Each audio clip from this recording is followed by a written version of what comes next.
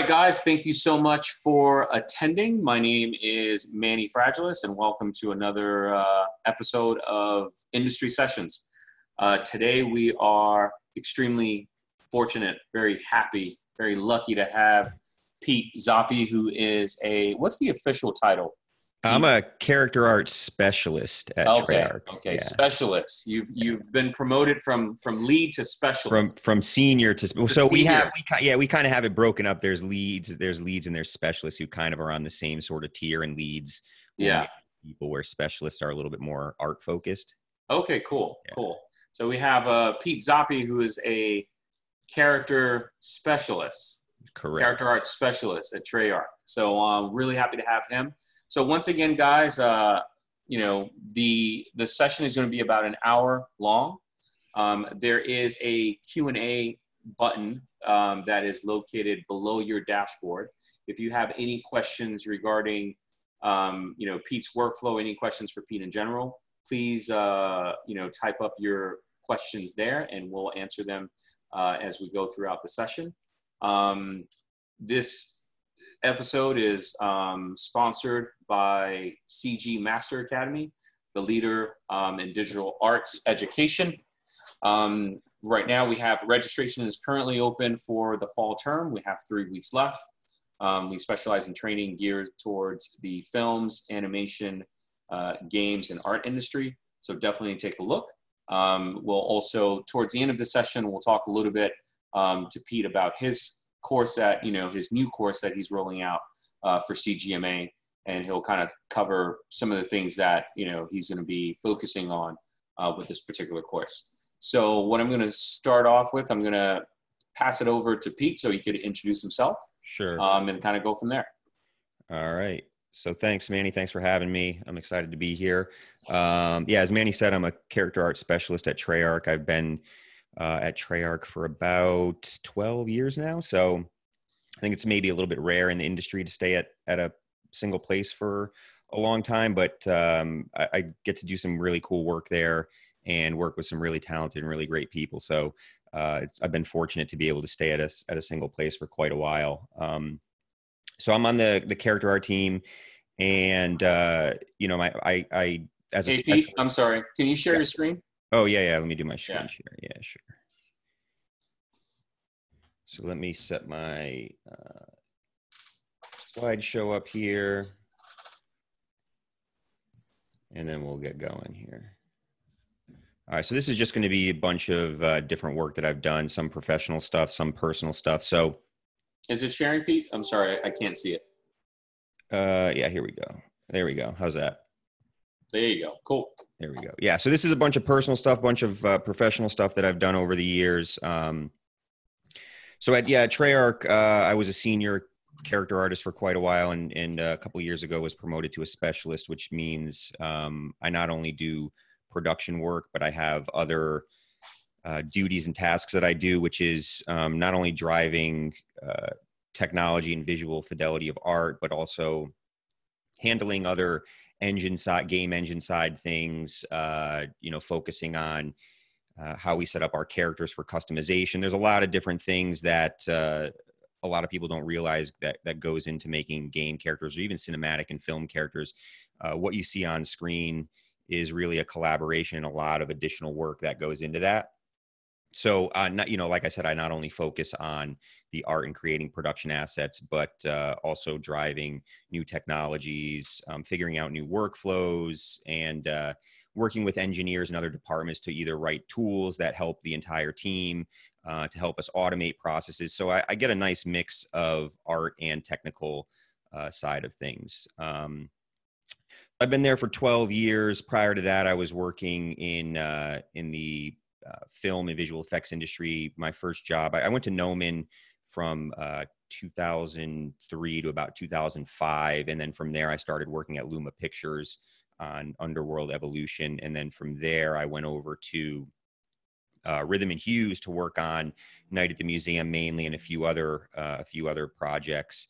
And then uh, it sort of seemed to me like the the, the visual effects industry had um, a lot of you know people moving around from company to company short term contracts uh, and i was kind of always into games, so I decided to, make a shift and try out the games industry. So my first game job was at Luxoflux, which was in Santa Monica, where I worked on a Kung Fu Panda video game.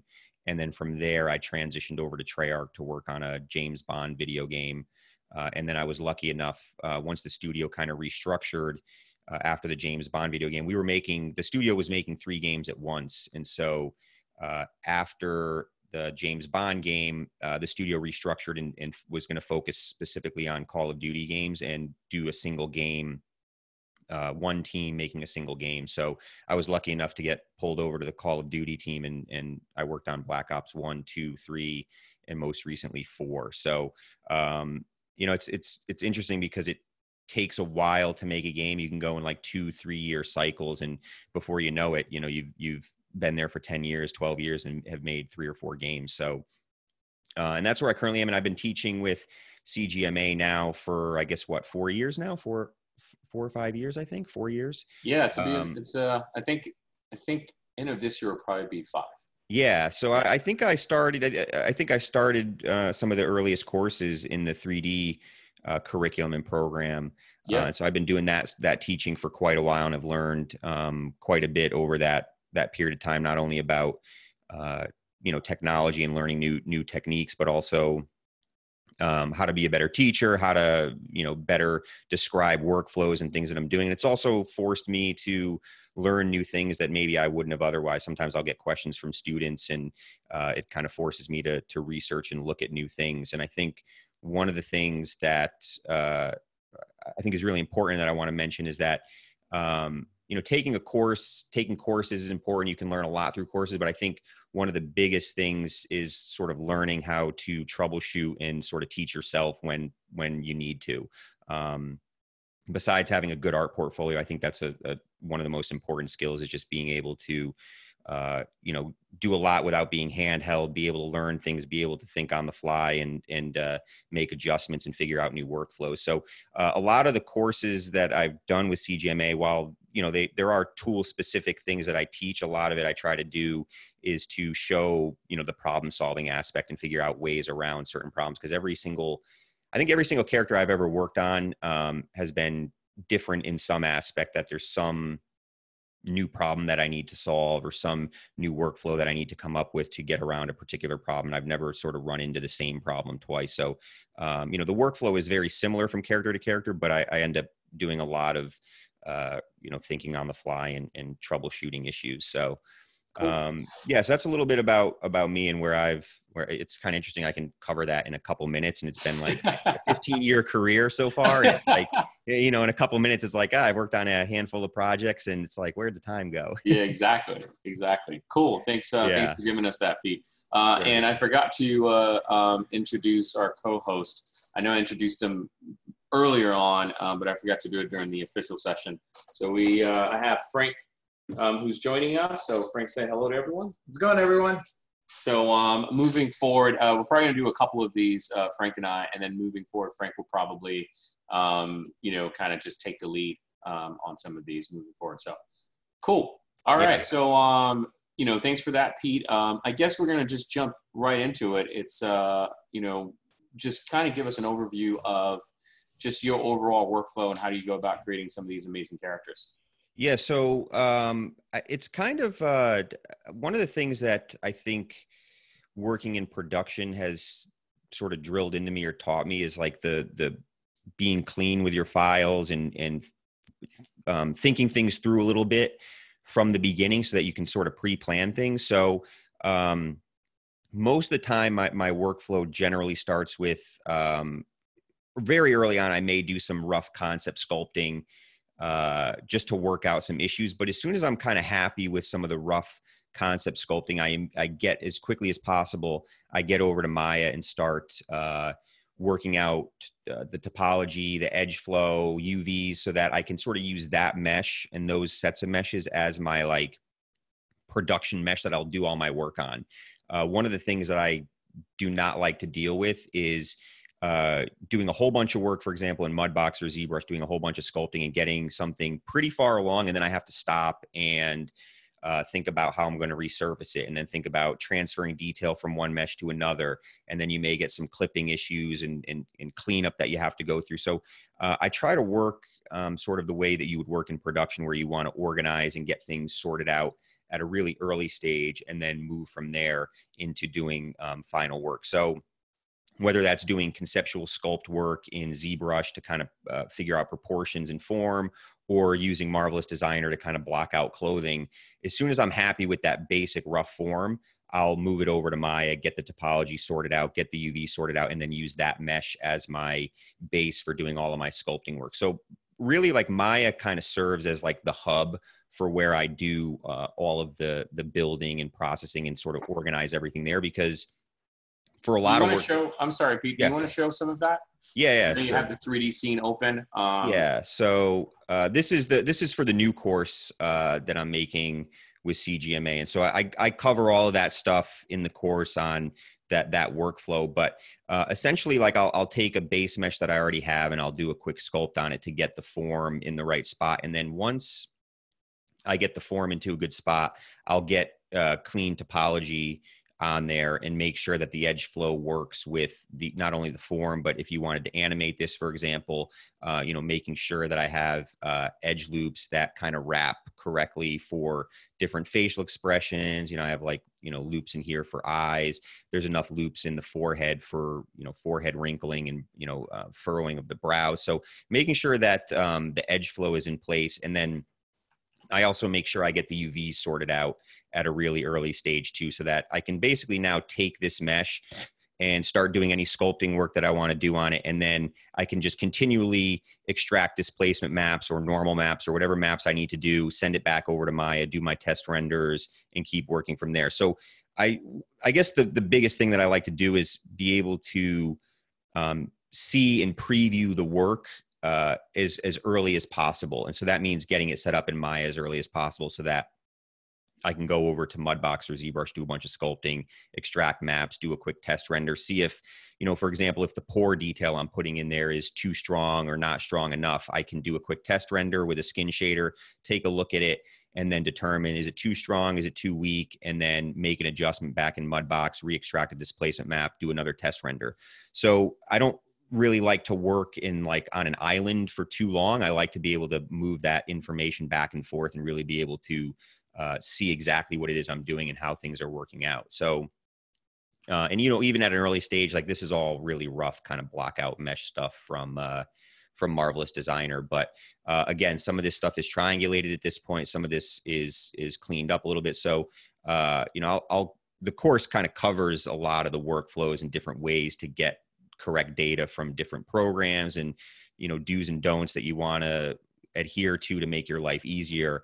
Um, so that's kind of the the general workflow and it, it almost doesn't really matter what type of asset it is. It doesn't matter if it's a head or if it's a piece of clothing or a piece of gear. I always kind of follow that that workflow where i get that topology and the mesh sorted out early enough so that i can do all the sculpting work and then send it back to maya. So that's generally that workflow and that also allows me to to also transition from the sculpt phase into the texture painting phase. So, uh, like just a little story here is that when I worked at Rhythm and Hues back in 2005, uh, it was just when ZBrush was starting to become uh, more heavily used in the industry, but it was still really, really new. And there was a very clear distinction between what a character modeler did and what a texture artist did.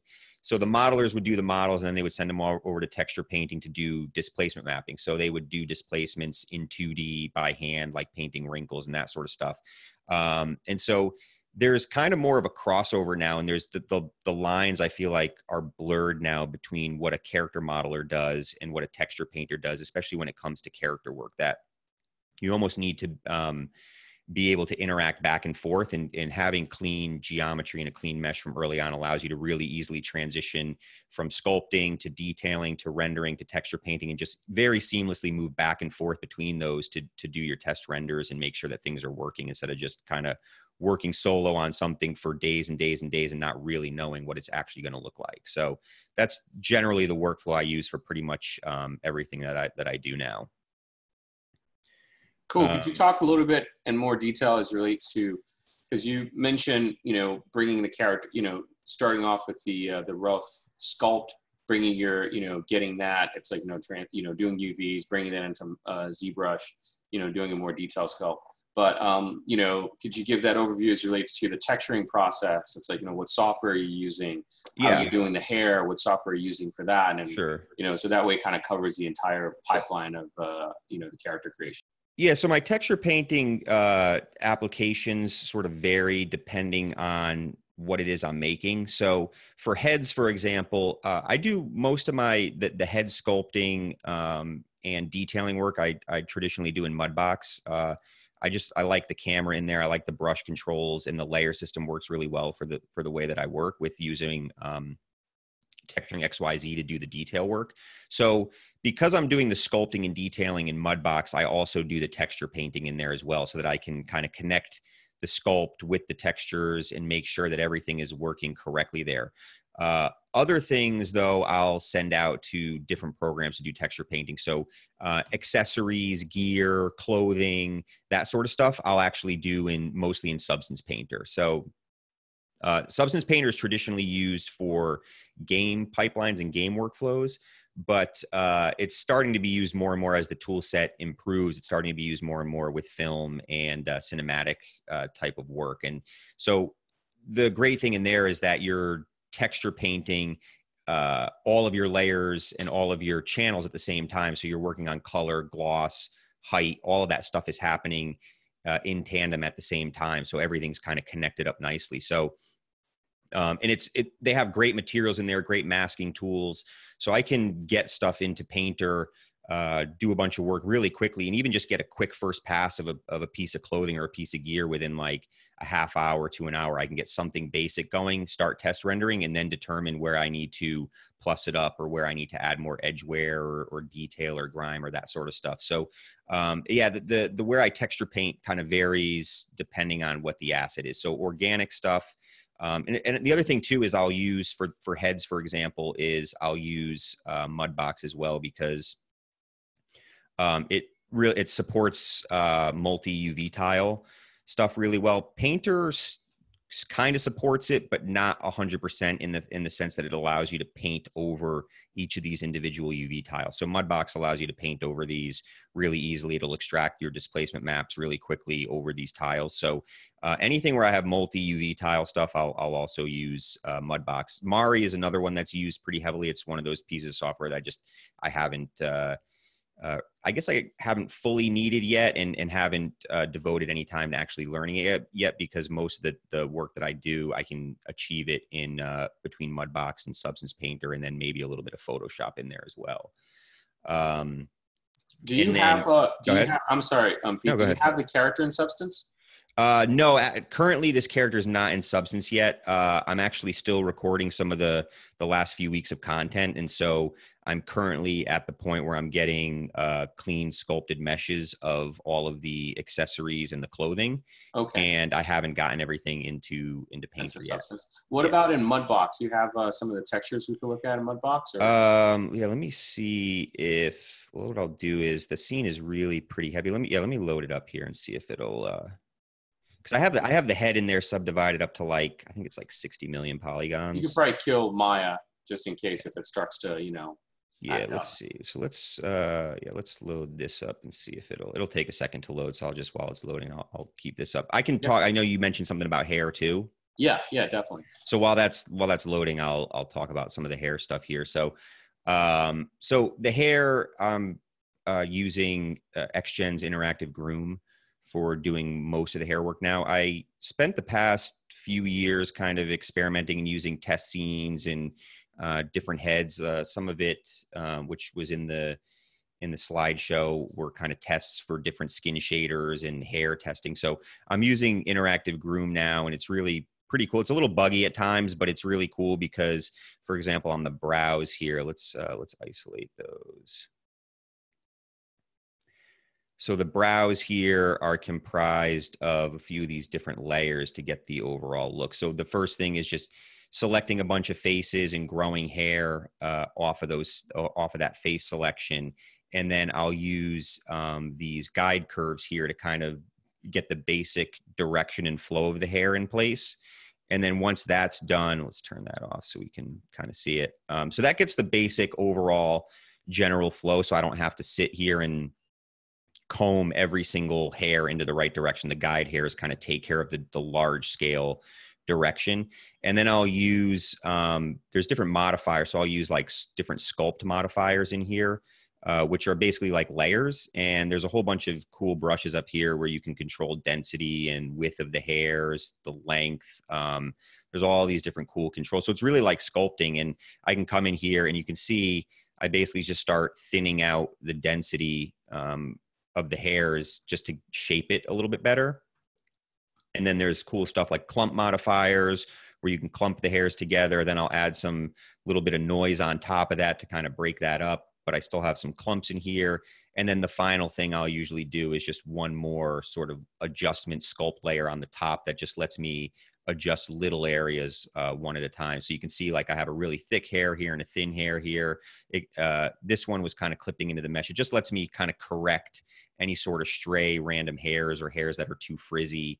Uh, I'll kind of correct that with this final layer. So uh, that's kind of been the general workflow. And some of them, some of the different hair chunks here have significantly more layers depending on what I need to control. Other ones have significantly less when it's when there's not a lot going on there. So like nostril hairs here, uh, you know, there's not really a lot here. It's just uh, some general hairs in here, uh, a few little adjustments, nothing major here. I just wanted to get some hair in there. So uh, yeah, it's it's really pretty awesome. There's some pluses and minuses to interactive groom versus the core uh, XGen functionality that Maya has, and uh, it kind of depends on what you're trying to do. But for the most part, I can do most of what I want with the interactive groom, and it's really like sculpting. I mean, you're you're just making layers and adjusting things on the fly, and it's really kind of non-destructive. So you can um, you can you can layer in as many things as you want. You can adjust the density later on if you want. You can rebuild the the curve count however you want. There's there's a lot of interesting things that it can do. Uh, let me pop over to here and see if this guy loaded. No, it's still loading. Sometimes these files take a while to load. I oh there we go. Okay. All right, so let's do this. So I have a whole bunch of uh, there's a whole bunch of layers on here, sculpt layers, and this is I, I really like this um, functionality in here because I have all of these different. So you can see these ones called red, green, blue. These are actually coming from Texturing XYZ, uh, which I use almost entirely now uh, on a lot of my heads. There's a lot of stuff that's actually hand sculpted. Sometimes I'll get areas that don't quite work with Texturing XYZ. So I will uh, hand sculpt certain areas in, like these cheek pores, for example. Um, a lot of these are, I've kind of smoothed things over and then hand sculpted in uh, different cheek pores using different stamps and alphas. Um, and so I have all these layers, and what I can easily do, like as, as I was mentioning before, with um, having my scene set up in Maya and having UVs on this is if I determine that you know these pores aren't quite deep enough, I can come in here, bump the the, the strength of this to like 100, for example, re-extract a displacement map, test render it in Maya, make sure it's looking correct, and and I can kind of work that way. So the the layering system in here is really great, and it's really non-destructive because you can use uh, layer masking. So at any time, I don't have to erase a layer. I can use the mask brush. It works exactly like a layer mask in Photoshop. I can come in here and, for example, if these cheek pores, I want to kind of remove some of these cheek pores, I can just tone that down a little bit, and I can hold down Control to bring it back. So um, for this type of work, uh, you know, I, I've, i see people use ZBrush. ZBrush does some really great things. I just have gotten used to the way that this layer system works and the way a lot of these brushes work. And so for me, it's really, um, really easy to come and make adjustments in here. And then for the textures, uh, let's turn on this. So this actually started off as um, a, a, color projection from some cross-polarized photography, and I blended a few different sets of cross-polarized photography to project onto here. And then uh, from there, I started hand painting a lot of stuff in. So I started painting in little veins, uh, little spots, uh, you know, areas where the skin's a little bit more red, uh, little bits of veining in the ears. So again, it's one of those where I get the initial projection on there uh, save out that that texture, bring it into Maya, test render, and then start to start to determine where I need to start making adjustments. A lot of times, you know, under the eyes there may be too much shading, for example, in some of these areas. So I'll go and hand paint all that stuff out. But I always test render first and see, you know, what's looking good and what's not, and then make make determinations based on what I'm seeing in the render, as opposed to making determinations just based purely on what I'm seeing in the viewport. Some stuff uh, I'll I kind of can tell early on where things will be an issue and I'll just quickly paint it out. Uh, a lot of times when you're projecting ears, I've never had ears project nicely from photographs. There's always too much shading and subsurface and all this stuff built in. So a lot of times I'll just completely paint back over the ear.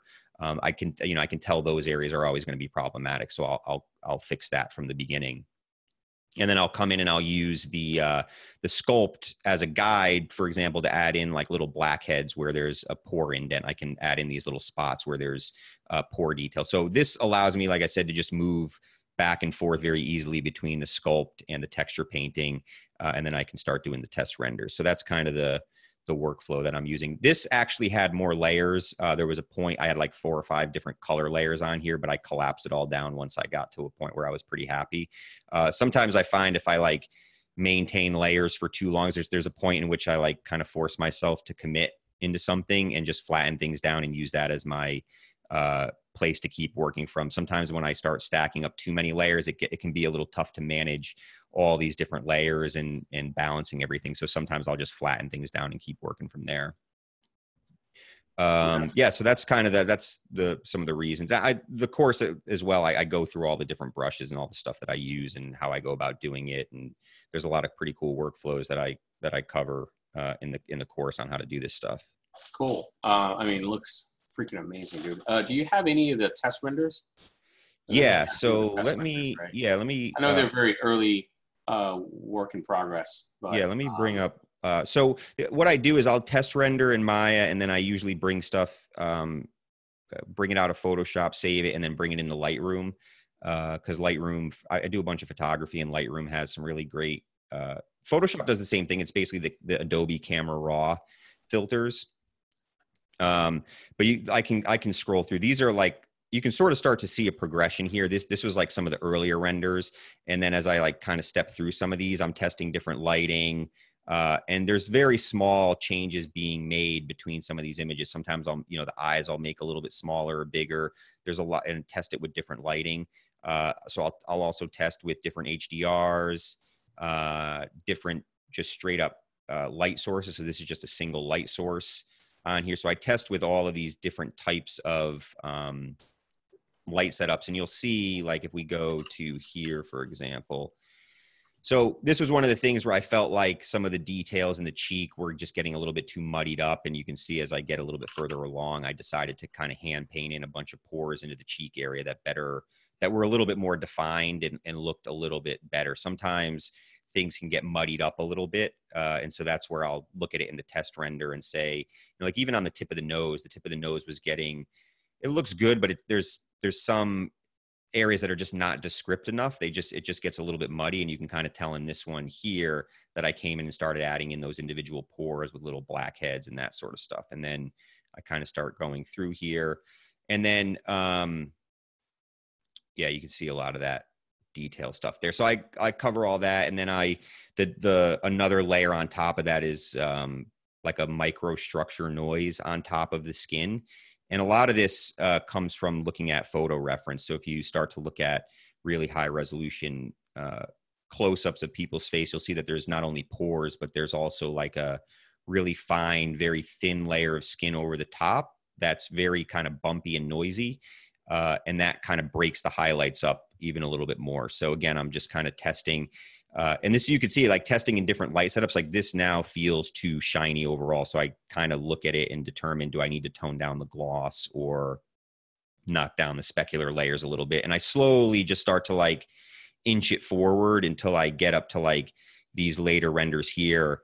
Uh, and so i did a bunch of was spending a bunch of time like looking at these different test renders and then uh, I wanted to kind of stop doing that sort of work until I got the hair taken care of because the hair adds like another uh, layer of quality in here that it can be hard to really get an accurate feel for the character until you start to place the hair on there. um, I do things like like when I come into here um, very early on as part of like the uh, block out process. I'll do stuff like this where I just take rough geometry and put it in place just to get a sense for what he'll look like with some hair mass. But um, like you can get pretty deceived, I've found, with trying to get this narrowed in and look correct, uh, especially in the eye area when there's no brows and there's no eyelashes it creates this really weird thing. And so this all this stuff got up to a point where I was like, I gotta, I just have to stop for a little bit and get the hair in place so I can accurately start judging things. So you could see I started to get the hair in place here, and I can use the the camera raw thing here to kind of like boost my values a little bit, um, so I can see things a little bit better. And then I'll start doing like close ups of things to see how the hair is holding up. You can see up in here all this like fine noise. A lot of that is that that very fine microstructure bump noise that's going on on the skin even up through here you can see there's the, the basic pore structure but then there's some like breakup uh, over the top of that so the hair is still the hair shader is not 100% worked out at this point so uh, i'm still working on that. Um, but yeah that, that's kind of the the overall workflow. And so yeah like the a lot of the course there's like the the the course I that's been that I've been teaching um we we kind of covered the head in like 2 weeks. And this one actually goes into a little bit more depth on the head. So the, the, this new course is like about 4 weeks 3 to 4 weeks on the head alone just to get all of this stuff um, polished up to a pretty nice a nice point so yeah, and uh, man, there's when you're zoomed in on zoomed in on some of it, it's like for a split second there, I thought it was a photograph. Yeah, I'm I, am trying to get there. It's still it's still I don't I don't think it'll ever fully get to it's it's hard to get that completely photo real, but that's kind of uh but you're getting there, man. Getting there. It's, it's taken great. but but I I mean I can look back at my work from say 15 years ago and it's like it's definitely gotten a lot better but like the progression it, it takes such a long time to kind of start moving that needle forward it, it, it's just you know hours and hours and hours and and i think um yeah, I was telling you guys the other day that um, the biggest thing I think that's changed for me recently is just like the depth I think that I've been going into. So if we kind of go back to some of this stuff, like um, that I did, I don't know, a couple years ago as sort of a starting to test out new skin shaders and uh, hair and that sort of stuff. And it has some of that fidelity, but I didn't quite go to that same level of of detail that I'm doing now. Like I could if I did close up renders of this, I don't think it would hold up as well as some of this stuff is holding up. So I've just been like looking at reference uh, significantly more closely every single time I work on on a new project and try to like bring one or two new things in from the reference that I'm seeing uh, to try to make things look a little bit more believable. The the thing I'm still kind of work trying to work out a lot on is is a bunch of stuff on the eyes. There's a couple different phenomenon that happen with the eye that I still haven't quite a hundred percent worked out yet. So uh, I'm still kind of striving to get that that stuff up to up to a pretty good point. But dude, you're getting there. Thanks. Looks freaking Thanks. amazing. So um, so um, um, um Andrea wants to um, was asking, what is cross polarized photography?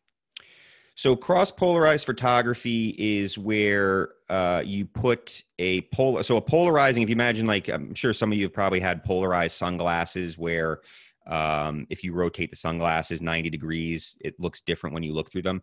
Polarized, uh, polarized sunglasses cut out light in a certain direction so it can eliminate reflections and glare and that sort of stuff. So, what you can do is you can put a polarizing filter over your camera lens, and then you also put polarizing um, sheets over your lights. And what it does is it basically completely cuts out uh, specular highlights and reflections off of uh, any type of surface that you're photographing. And so it makes for um, great source material to project on as it could either be skin, it could be.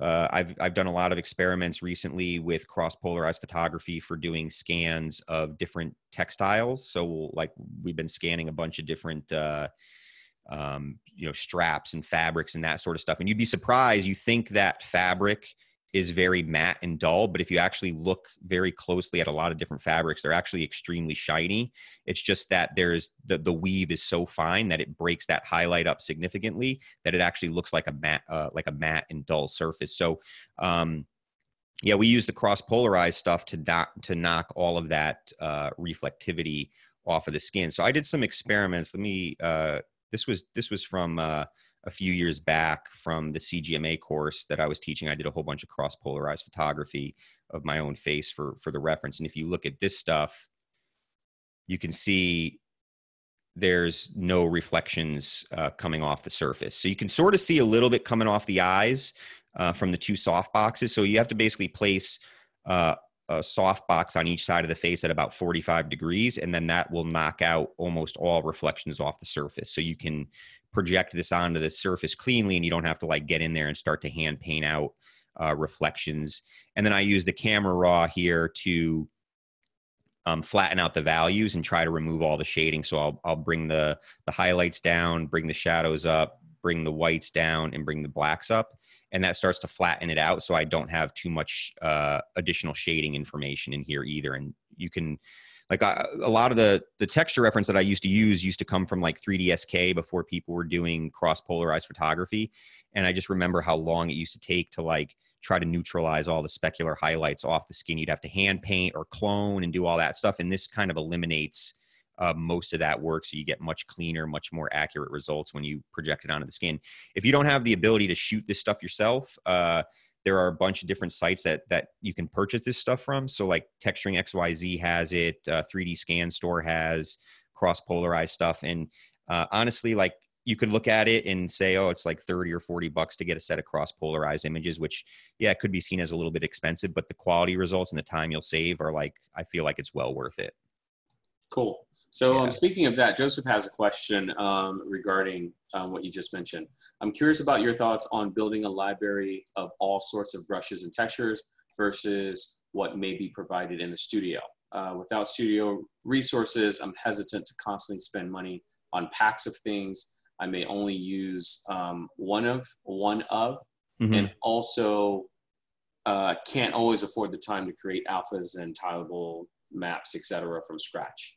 Yeah, I mean it's it's a it's a pretty good balancing act. Um, working in a studio, if there's stuff that that we can make a case for that will expedite our process significantly, uh, we usually get you know authorization to purchase that stuff, or the studio will buy that sort of stuff because it'll it'll expedite the process significantly. Like one of them, not necessarily uh, uh, like brushes or, or alphas or anything, but it took a little bit of uh, uh of negotiating, but because uh, Marvelous Designer is pretty expensive. But when we kind of proved out the results of Marvelous Designer and how much time it could save us and how much better the results were, uh, we pretty quickly were able to get that software in house. And so, uh, texture stamps, that sort of stuff, it, it definitely is beneficial. Um, to have some libraries that maybe you purchase if it's something that you don't necessarily want to make but i also think there are you should definitely if you're if you're newer and you're starting things out d- definitely create some stuff for yourself um, because there are times where you're not going to be able to find something off the shelf uh, that's going to work for what you want to do. So, like an example is, um, so this character is going to have this, um, like this this very uh, specific pattern, uh, like a tiling pattern on the jacket. And so there was no way I was going to be searching, and there's no way I was going to find that pattern as like a tiling alpha thing. So you, there are times where you you're not going to be able to find that stuff and you have to know how to make it yourself. So I wouldn't rely entirely on purchasing stuff. And I wouldn't also re- rely entirely on, um, on making stuff from scratch because there's times where you know I can find something that's close enough to what I want.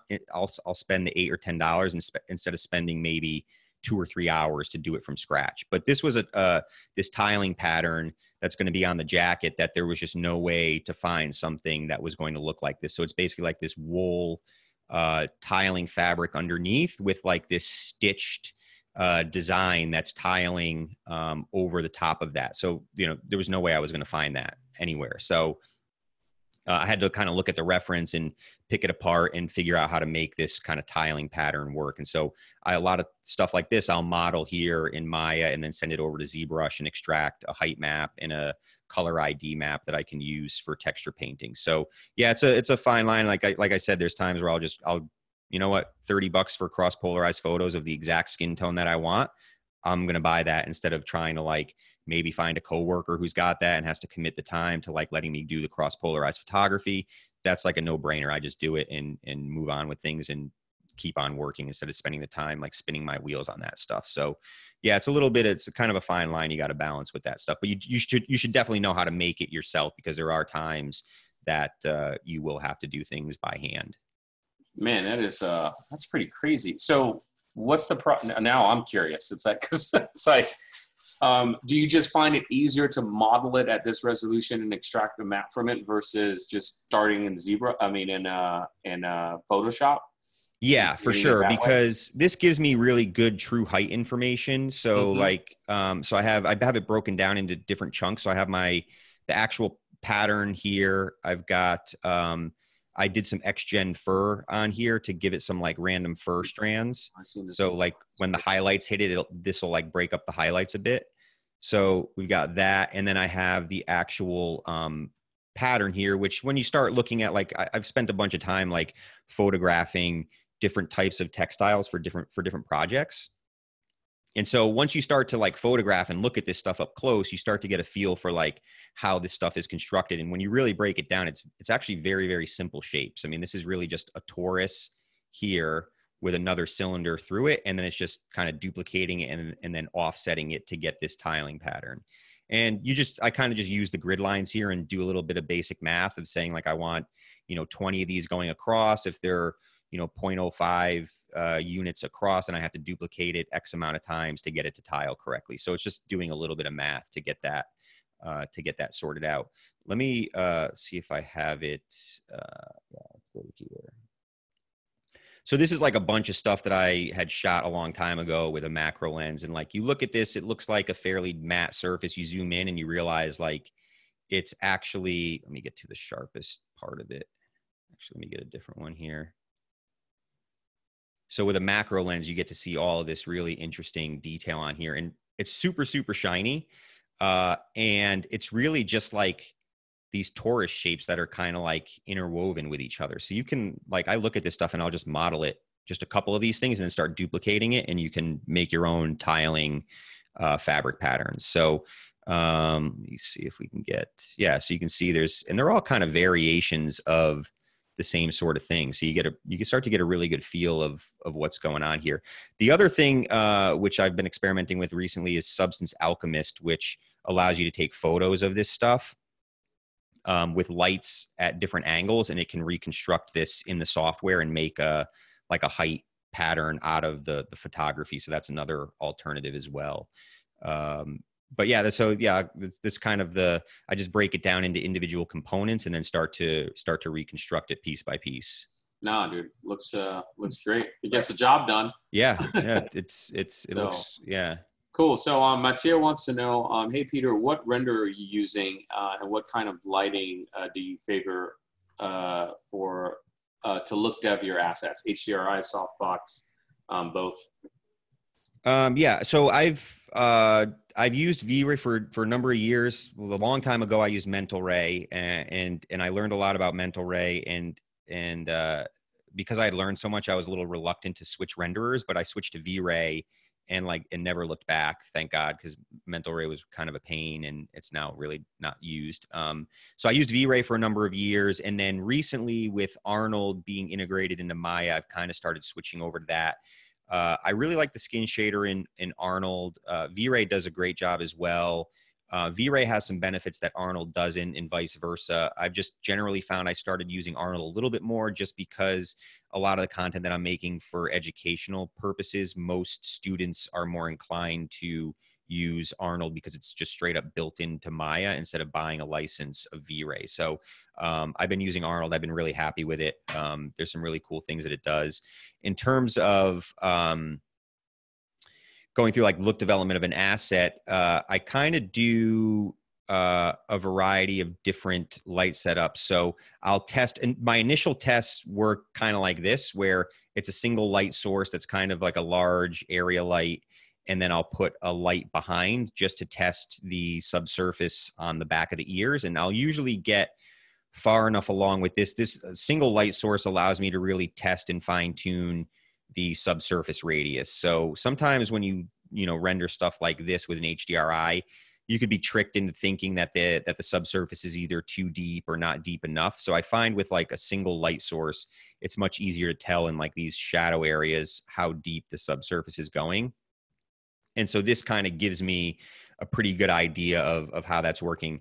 And the same thing with like other other elements too. Um, the only time I'll kind of deviate from this type of setup is if I'm doing any look development and rendering on stuff that's predominantly metal uh, because most of the look of a, of a metallic surface comes from the reflectivity. So if you have like a single light source and you're trying to render a, a, a, a sphere that's gold, it's not going to look all that interesting because it's only going to look gold where the light is kind of hitting it and reflecting back. So for anything like more metallic, I'll do uh, HDRI. So as I kind of do things, I'll spend a bunch of time in this stage here, and you can even see on this guy here. I mean, this is this here is just a single light source with um, an HDRI dome that has no texture applied to it. It's just straight up. Uh, like if I come into here and do Arnold Light Sky Dome, uh, I basically just come into here and let's go to the attributes for this. Let me set this over to Maya Classic here.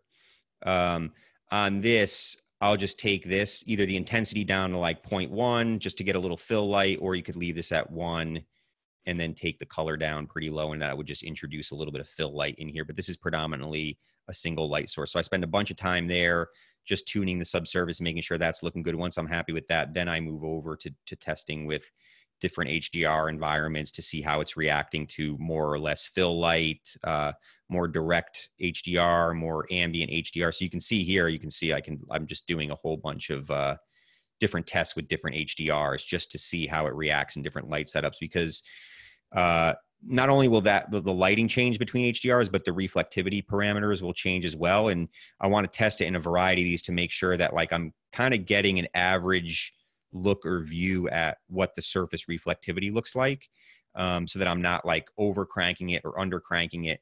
Um, the other thing that I found to be really beneficial, which uh, I had kind of covered in my one of my previous courses, was looking at skin renders with different light setups. So uh, looking at skin with a, a very very small um, bright light source off to the side you can zoom in and you can start to see like what the high frequency noise looks like. And then the skin like it's not like my skin uh, oiliness has changed from this shot to to this shot but all i've done is i bounced the light off the ceiling so it's a much larger light source. And so I like to test with large light sources and small light sources to just get an average look at the skin and make sure that it's not too shiny or too dull overall. So I kind of mix it up between large and, and, and small light sources as well of varying intensities to make sure that the reflectivity is looking correct.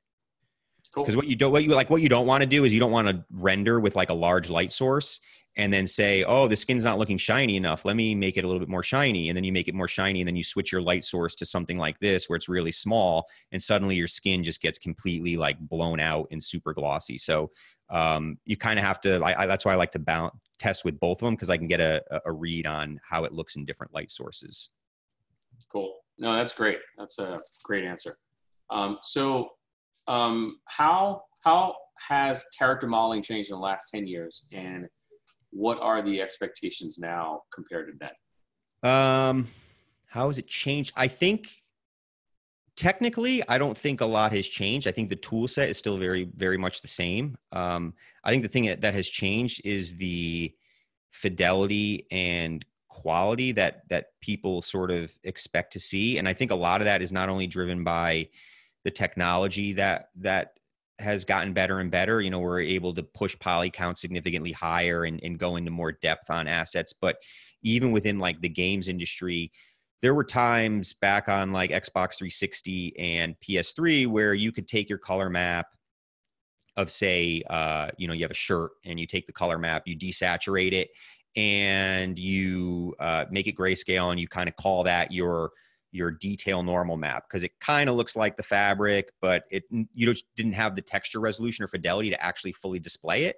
And so you could kind of move through things significantly quicker. Now we just have this like 4K TVs, much higher resolution. Uh, you know, the PS4 Pro and some of these kits are now outputting much higher resolutions that the expectation is there to see detail and have the detail be more correct to what it's actually looks like in the real world. So I think the thing that's changed is like the tools and techniques haven't changed a lot. I think it just requires significantly more time and attention to detail um, as you go uh, further and further along with it. Like I am actually kind of freaked out a little bit about these 8K TVs and like the next generation of video game consoles because it's like, well, you know, suddenly are we going to be authoring, uh, you know, 8K and 4K textures where you're going to be able to zoom in and see every little fiber? Because a game environment, you know, you can walk up to anything you want. Uh, film and visual effects is a little bit different because the shots and the textures and the planning on the assets is really based around how that thing is going to be used in a particular shot. And sure, there's some stuff that is created to the highest of highest fidelities because they want to be able to see it from any angle, but there's a lot of assets that you know sort of know where it's going to be placed and you build it according to that whereas game assets it's like yeah you can see it from anywhere. So that that attention to detail is is the thing i think that is going to uh, make the process take longer. I mean there's been things that have changed. Like 10 years ago we didn't really have marvelous designers so there was uh, uh, you know cloth was a little bit different. That that process has changed significantly. Um, scanning technology has gotten better and better uh, but I, I, still don't think it's a replacement for certain types of of genres of of work that are being done. Like you can't really scan you know futuristic sci-fi stuff. You can scan current day and sort of uh, older stuff but there's certain things that are just not scannable either. So i think it's still a mix uh, i don't you know I, I think i remember people asking this question a long time ago like oh do you think the character artist job is going to get diminished and slowly be replaced? And it's like people were afraid of that 10 years ago and it, it really hasn't changed. If anything like where i work and most studios that i see is like more and more people are being hired to do the work because there's just the the the quality has to be higher and it just requires more time Cool. Yeah. Um, and I, yeah, I completely agree. I think uh, whether it's real time characters or you know just higher, yeah, you know, like feature film, you know, type high res char- uh, quality characters. Yeah. I think uh, the process is very similar in that sense. Um, so speaking of, of of just you know just um, certain level of fidelity, um, Galaxy wants to know: um, Does the photogrammetry um, does photogrammetry is it often used in the modeling of characters, um, or do we have to model and sculpt characters from scratch? Um, I sort of think it depends on the the, the project, really. Um, it's being used more and more. Like I said, the, the scan technology has gotten better. It's gotten less expensive to scan things. The quality's higher, um, but it still requires a, a, bunch of cleanup. There's certain things that scanners are just never going to be able to get. Um, you have you kind of have two different ways of scanning things. You can scan things with with photography. You have these complex photo rigs that have uh, 150 cameras in them that that'll snap off a bunch of photos. But you have issues with occlusion where it's not going to get stuff under the arms or uh, underneath things. So you also have handheld scanners that can scan things on the fly. But with handheld scanners, if you're scanning a person and that person moves, then you have issues with scan quality there. So um, I think there's a time and place for uh, photogrammetry. There's a time and place for creating characters by hand. There's a time and place for just about anything. I think it just really depends on what the project calls for. Uh, and that's why I feel like uh, doing character art, uh, you can't really rely on one thing over the other. I think you have to be pretty well versed in a variety of different tools and techniques to be able to accomplish uh, creating a character regardless of what the technology being used is. Cool. Yeah. Um, what would you say is the your most enjoyable aspect of creating uh, characters? Um, I think I, I, I I enjoy the initial sculpt phase where I get to kind of like work out proportions and and uh, sort out some of the the overall big picture stuff. And then I really enjoy uh, a bunch of the look development and then some of the texture phase. And I I say that because I feel like once you get over the hurdle of all the modeling, you get to the texture phase. You have so many things now that are like locked down and locked in place that it becomes a little bit more enjoyable to do some of that finessing and fine tuning. Whereas when you're in the modeling and sculpting phase, there's a lot of back and forth. If you need to transfer data from one mesh to another, there's a lot of like little steps you have to go through, which can kind of break your overall flow. Uh, but that's also why I like to pre-plan my assets out and um, make sure that the mesh is sorted out at an early enough stage so that I don't get caught up by those things. But yeah, I'd say early on, like blocking things out, big picture read stuff, I like that. And then kind of getting things over the end line, fine tuning materials and textures are kind of like the the parts that I enjoy the most. Great. Uh, so um, Calgar wants to know, uh, can you please talk about your methods on moving high-res sculpt details into game engines? Since engines don't support most of that stuff, Arnold or V-Ray, um, Yeah. or Arnold V-Ray support, uh, what's your general process? Uh, so it sort of depends asset to asset. Um, for heads, for skin, that sort of stuff, uh, the workflow is essentially the same as I feel like as doing like a high res asset. Is you do the whole sculpt, you add your pore, wrinkle detail, all that stuff, and then we just bake it down to a lower res mesh with a normal map. So we'll, we'll use normal maps, and we I'll typically use Marmoset to do my normal map baking. Um, for other types of objects like uh, accessories, clothing, gear, that sort of stuff. Uh, I do most of the rough, uh, and by rough I mean like I get the sculpt up to, you know, a few million polygons, but I'm not adding into the sculpt. I'm not adding um, fabric detail. I'm not adding stitching. I'm not adding like those really really fine details because I would rather control that stuff during the texture painting process. So if I start to texture paint stitches, um, let's say hypothetically I did stitching on the high res asset and I bake out that normal map onto a low res mesh, and that normal map is 2K by 2K. And that stitching I've made way too small in my sculpt. Even though it looked good in the sculpt, it's way too small to actually read in the normal map. Uh, I've got a problem now where I have to go back to the sculpt. Hopefully, it's on a layer, turn that layer off, redo the stitching. Whereas if I leave that for the texture painting process, I just texture paint it in, in Painter, send it into the game engine. Uh, if it's too small, I just can redo it on the fly right there instead of having to go back five steps and, and repeat that process over and over and over. So um, I think I do a little bit more in texture for game assets. I do more of the detail work in texture as opposed to the sculpt, whereas uh, film and cinematic stuff by nature sort of it has to have that that type of detail in the in the model. Uh, and then for like hard surface elements, we can like for game stuff, we hack high poly models um, together in ZBrush pretty quickly. Like we just Dynamesh stuff, use live booleans. The topology does not matter at all because we're baking it down to a low res mesh. Whereas for a film or cinematic asset, you can't really throw in some. You can't pass on a Dynameshed or decimated sculpt to a texture painter and say, "Here, have a have fun with this." You know so you have to be like with with film and cinematic stuff you got to be a little bit more on top of of that that model and make sure that it's i mean you know I mean, you worked at dreamworks you got to Yeah. you got to that thing has to be spotless like it's got to be good and ready to go through every other part of the pipeline Yeah, yeah for sure. Um, so uh, talk a little bit about your class. Like, you know, what um, should students expect from, you know, taking this class? Just, you know, the overall outline. Yeah, sure. So um, the what it, it's going to cover the entire uh, sort of process on a variety of different aspects of the character. So you know, obviously, if you're doing film and cinematic stuff, uh, human heads are are always a big part of that. So that's why like three or four weeks is devoted into the head, the the sculpting, the eyes, the hair. Uh, the texturing, the lighting, the shading, all that stuff is covered to get it up to like a point like this. Um, and then the remaining parts of the course cover um, marvelous designer for doing clothing, which is applicable to film cinematic, also applicable to uh, game type of assets, game pipelines. Um, and then it kind of covers everything from generating the the high res meshes, getting clean geometry, uh, and then moving the process all the way through to texture painting, how to uh, leverage different tools like some texture painting stuff. You don't necessarily have to texture paint everything in a painting program. You can leverage Maya uh, and the shader networks to do a lot in the shaders.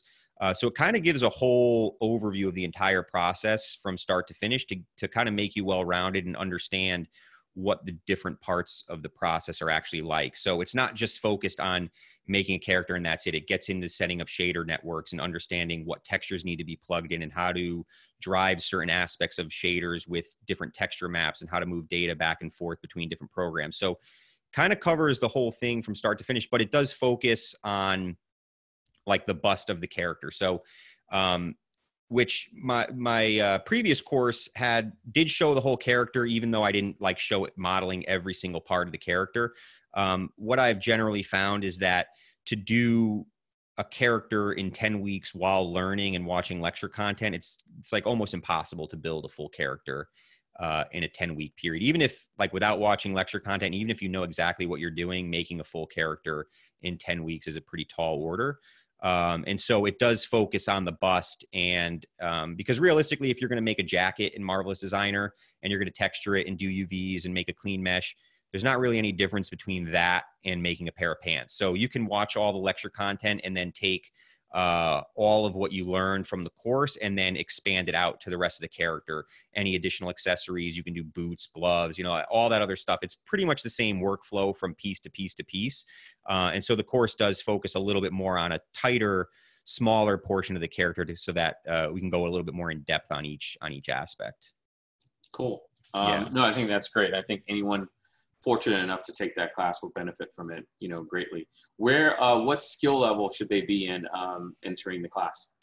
Uh, I would say it's like intermediate to advanced. Um, I mean, I, so because it has to move pretty quick by nature of doing a full character in 10 weeks, it doesn't really like I don't stop and uh, for example, modeling in Maya, I'm not stopping and saying, you know, you hold down shift, right click, go to extrude, punch in this number like it it doesn't cover that sort of stuff. So if you're new to maya or new to modeling and don't have that like those fundamentals of of, of modeling and and uv mapping and that stuff I, I cover uvs and that sort of stuff but not to the point of like going over every single thing of how you cut something and where the button is to cut. It, it just says i'm going to cut the uvs here and you see the kind of end result. So it is more advanced in that it just moves through some of those more basic skill sets a little bit more quickly. Um, yeah so there is a, a, certain expectation that you have a lot of that that foundational uh, knowledge and understanding under your belt before sort of taking it because you want to be a little bit more advanced in order to get the most out of it.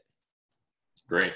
Yeah. Um, and the last question because we're coming up on time um, what sure. advice would you have for someone um, trying to break, into, break into the industry now as a junior character artist? As junior, um, so there's I get actually get this question a lot. There's a there's a few different pathways you can you can go with. One would be, um, and, and I know a bunch of guys that I work with who started on different teams within our studio. So they've come in as environment artists or uh, effects artists. Um, you can often look at uh, different uh, job postings.